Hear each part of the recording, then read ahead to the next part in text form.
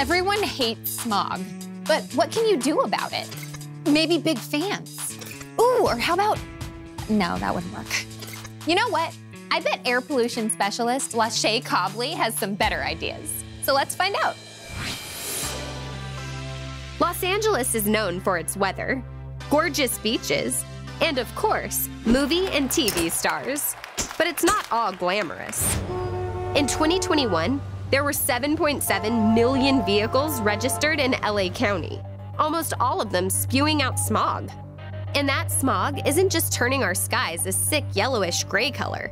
It gets in our lungs and causes numerous health issues. But don't despair. California is turning it around and now leads the nation in establishing the strictest vehicle emission standards in the country. And Dr. La'Shaye Cobley has made it her mission to clean up our air for future generations. I was raised Rastafarian, which gave me this strong sense of love for nature and this respect for all living things, even though I grew up in a very urban environment and didn't have a lot of nature around me. And then when I got to college, I took my first class on plants and like completely lost my mind. Like I was did not know that I could be so into plants. My way of getting into studying pollution was actually trying to understand where trees got their nutrients from in cities. And it wound up telling me this like incredible story about pollution. And then I wanted to take it a step further and say, okay, what do we do about this? Which is how I then landed at CARB eventually. CARB stands for the California Air Resources Board, and it creates policies to protect public health and the environment. Here we are at CARB's heavy duty test cell lab, where we actually have our heavy duty vehicles set up. We can get them running in real time and make measurements on the emissions that come from them.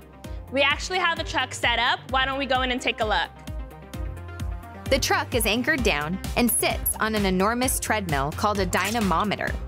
This way, the truck can be tested at all speeds. Rollers on it move the truck's wheels to simulate road conditions. So this giant fan that you see behind me is actually really useful because it allows us to create real-world environments. So a truck that may be going on a highway at 80 miles per hour is going to have very different emissions than a truck that's going 30 miles per hour, let's say in a residential neighborhood. This allows us to get those different wind speeds. Here, what you can see is the actual stack where the exhaust is coming out of the truck. We have that connected to our instruments where we can capture all of that pollution that's coming out and make measurements on it. Pollutants coming off of hard-working engines are measured in grams per mile.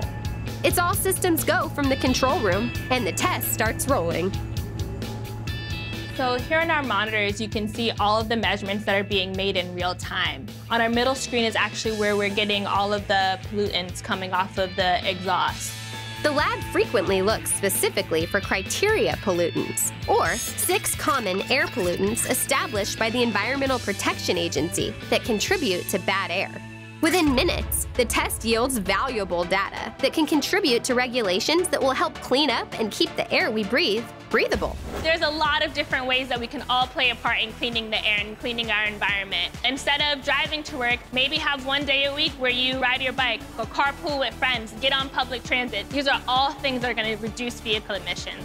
Great advice, La'Shaye. I know the next time that I'm heading to the red carpet, I'll ride my bike. Well, maybe not my bike but I'll definitely carpool. If you're watching this, you must have really liked the video. Make sure you follow and subscribe, and check out these other videos that are even better. No, really.